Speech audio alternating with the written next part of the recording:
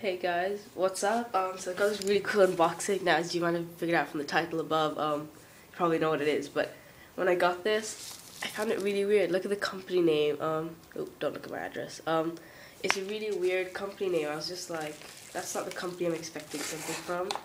But then, sorry, just like trying to peel off as much as I detailed that.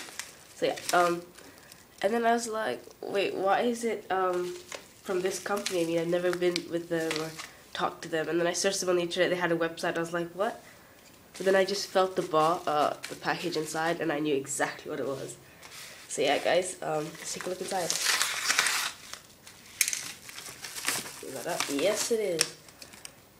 Oh wait, there's a little message here. Um, congratulations, you have won a zombie nano.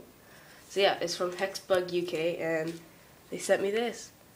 How cool is that? It's in a little, um, sorry, I'm a little sick. Um, it's a Hexbug Nano, but a special zombie edition. So I'm just gonna cut it open here somewhere.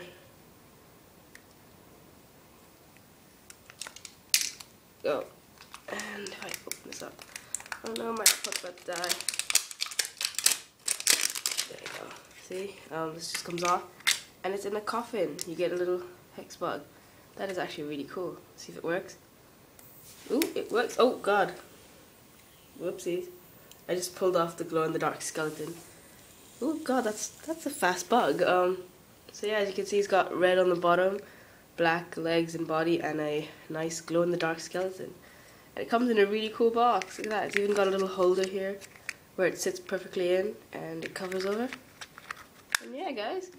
I will be putting up a review really soon. See you guys.